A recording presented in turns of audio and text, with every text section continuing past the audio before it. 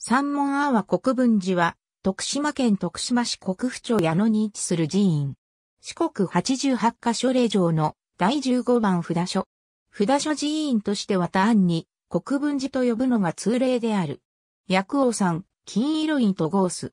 宗派は、曹洞宗。本尊は、薬師如来。本尊神言、オンコロコロ千里まとうぎそ赤護衛か、薄く黒分け分け色を染め塗れば、ルテン聖史の秋のもみじ場天平13年、聖武天皇が発した国分寺建立の御事のりにより、諸国に建てられた国分寺の一つ。自伝では行基が自ら薬師如来を刻んで回帰し、聖武天皇から釈迦如来像と大般若行、光明皇后の位牌寿司が収められたと伝わっている。当初は、宝生宗の寺院として七道伽藍を有する大寺院であった。公認年間に空海が殉釈した際に、真言宗に改修したとされる。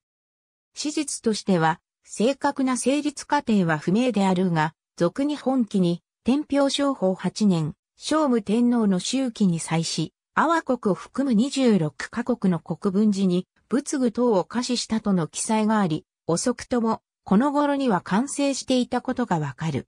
天正年間土佐の長祖壁元親率いる軍の陛下によって消失。